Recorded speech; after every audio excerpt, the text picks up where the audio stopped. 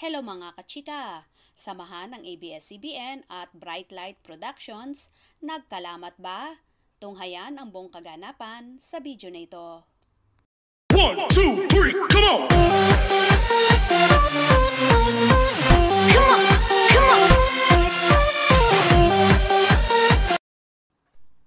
Reportedly, nagkaroon ng lamat ang magandang relasyon ng ABS-CBN at ng mga namamahala sa mga programa ng Bright Light Productions.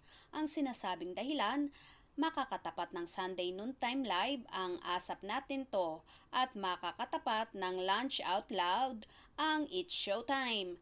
Kaya hindi raw maiwasang madamay at maapektuhan ang mga artistang umalis sa kanilang home studio.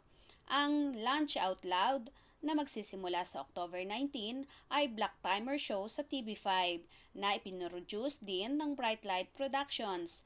Kabilang sa main host nito sina Billy Crawford at Alex Gonzaga. Incidentally, may sariling studio ang Bright Light Productions para sa daily noontime show na Lunch Out Loud at sa Sunday Noontime Live. Ang dating Wawawin studio ni Willie Revillame sa Kalayaan Avenue, Quezon City, ang napili ng Bright Light Production bilang tahanan ng ilulunsad na mga programang ito. Sa sinasabing lamat or di pagkakaintindihan ng ABS-CBN at Bright Light Productions, malaki ang tsansa na magkaroon ng patalbugan at pasikatan sa kani-kanilang istasyon. Kaya naman siguradong pati ang mga artista ay maapektuhan sa nasabing isyo na ito. Mga kachika, anong masasabi nyo dito?